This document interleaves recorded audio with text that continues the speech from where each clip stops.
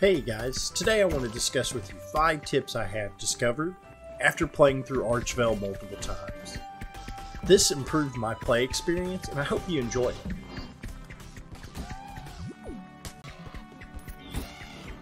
First, take the time to observe enemies and learn the attack patterns. Archvale does a really good job of rewarding observation. So here's the first example of an enemy who has a pretty predictable attack pattern. Basically, he waits 8 seconds, makes a moo sound, then charges straight at you. After they collide with something, a circular spray attack comes out.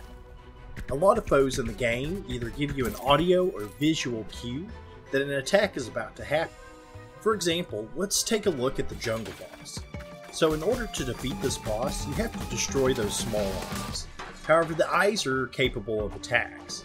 You can see this example that the eye flashes a red circle right before attacking. This gives you a heads up that it's time to move back.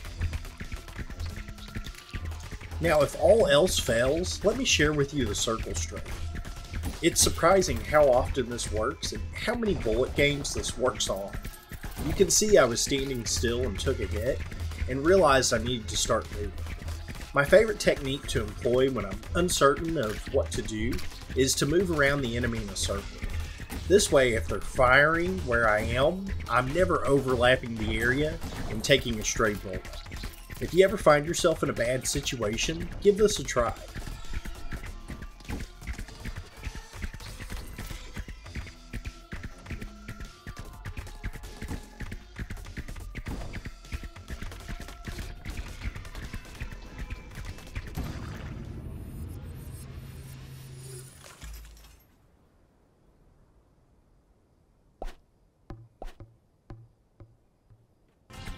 Next, let's talk about protection gear. It really is a great idea to carry some with you at all times. So in this example, I found a fountain and decided I want some extra hearts for the next area. What I can do is put on some protection gear, visit the fountain to get those hearts, place my old gear back on, and now I have the benefits of my superior gear and the protection hearts don't go away.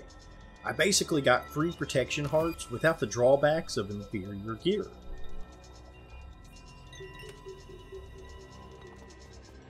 Now I can proceed through this area with my extra hearts and defeat the enemies.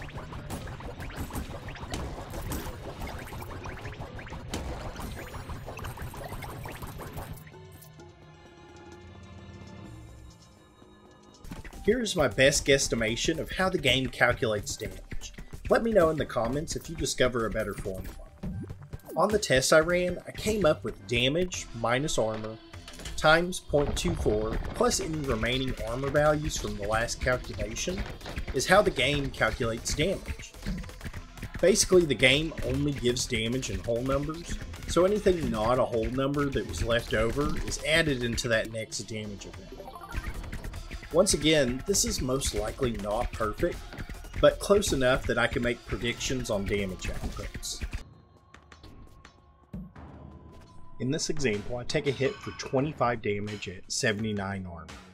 Now, I'm going to change out my ring to increase my armor by 20, giving me 99 armor. Okay, quiz time. Using that armor formula, how much damage do you think I'm going to take now? If you guessed between 20 and 21 damage, you got it right. As you can see, armor's not completely useless, however I would prioritize other stats when picking gear.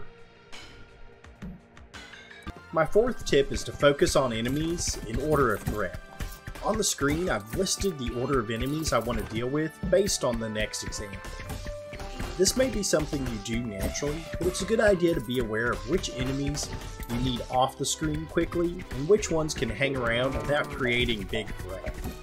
Basically, enemies that fill the screen with bullets or that have an increased chance of hitting me, I want off the screen first. Whenever you begin exploring a new area, start making a mental list of enemies you want to remove quickly. I know this is a simple tip, but it can make a big difference having your priorities in order.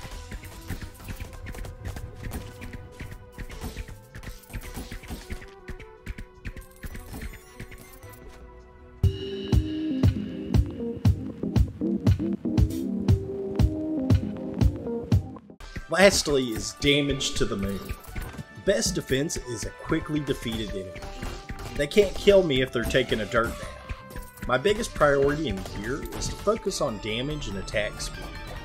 In this example, I'm going to show you how quickly you can kill the final boss with a high damage output setup. This clip is going to show me defeating the last boss, so if you don't want to see it, I'd advise you not finishing the video. As always, thank you for watching, and I'll see you on the next one.